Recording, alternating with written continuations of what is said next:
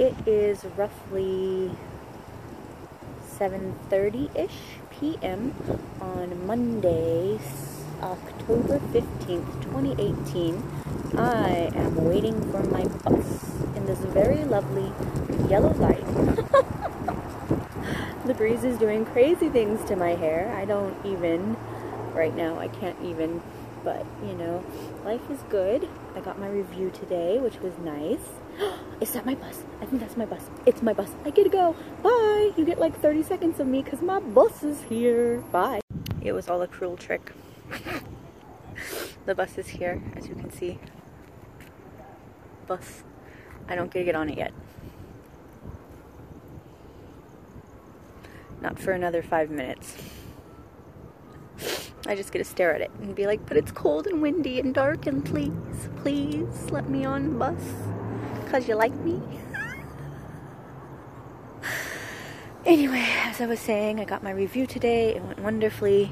I mean, as wonderfully as anything can go when, like, you know, people got laid off earlier in the year and my position was changed drastically from what I was doing to what I'm currently doing. I still got a pretty decent um, review and I got directions on what I need to do in order to become um, promotable in the current position I'm in because I was promotable in my previous position. But all of that experience and knowledge no longer is matters because like the complete everything that was needed is different. You know, when you change. And I got this long lecture about how my particular position is the most um, senior and important and the highest level and blah blah blah. And I was like, yeah, I know. Are you gonna pay me more?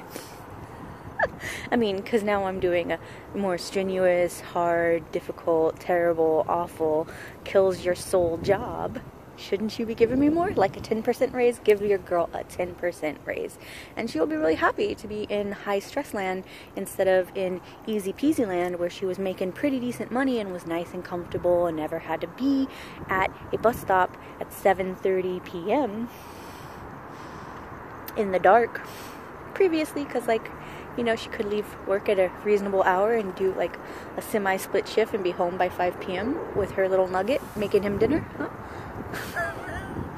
See how life is different for me now? See why you should give me more money? Yes. Am I making a good sales pitch? I don't know. I made a similar sales pitch with less like quirkiness and more like facts in the meeting, and I was told what I need to do in order to be promotable, so there you go. I'll do it I'm gonna type up my goals and make it happen. And it's been two minutes, so that means I should have three minutes till I can get on the bus. Peace.